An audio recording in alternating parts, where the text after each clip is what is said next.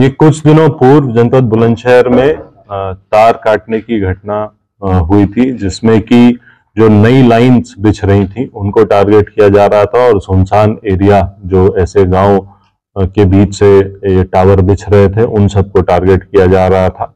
इस घटना के अनावरण के लिए थाना सिकंदराबाद और एसओजी की टीम को लगाया गया था, जिसके क्रम में आज कुल पंद्रह लोगों के एक गिरोह को पकड़ा गया है।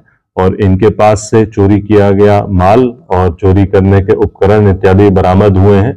ये एक बहुत ही स्पेशलाइज्ड गैंग है, जिसके सभी सदस्य इस तार काटने में एक्सपर्टीज हासिल किए हुए हैं।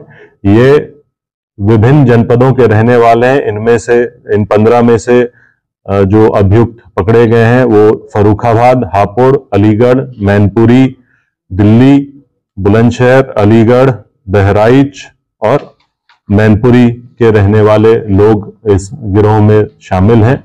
ये लोग जाड़े के मौसम में कोहरे का फ़ायदा उठाकर ऐसे सुनसान एरियाज़ में टावर्स को टारगेट करते थे और वहाँ से तार काटते थे। इनके पास से जो बरामदगी हुई है, एक बलेनो कार जिससे ये रेकी किया करते थे और जो कि इन्होंने इसी चोरी के पैसे से खरीद, खरीदी थी। एक पिकअप गाड़ी, एक कैंटर एक स्प्लेंडर मोटरसाइकिल जो कि रेकी में इस्तेमाल होती थी और एक डिस्कवर मोटरसाइकिल बरामद हुई है। जो कैंटर इनके पास से बरामद हुआ है, उस पे ये तार को चोरी करके ले जाते थे और उसके बाद फिर ये विभिन्न कबाड़ियों को बेच देते थे। इनके पास से भारी मात्रा में जो चोरी किया गया तार है, वो बरामद हुआ है।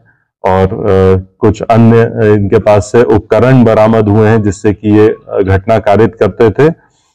इनका लंबा चौड़ा आपराधिक इतिहास भी है और इन सभी लोगों को पूछताछ करते हुए, इनका आपराधिक इतिहास संकलित करते हुए इन्हें न्यायिक अभिरक्षा में भेजा जा रहा है और इस टीम को जिसने की ये सराहनीय कार्य किया है, इसको मेरे द्वारा पच्चीस हज़ार रुपए का इनाम दिया जा रहा है।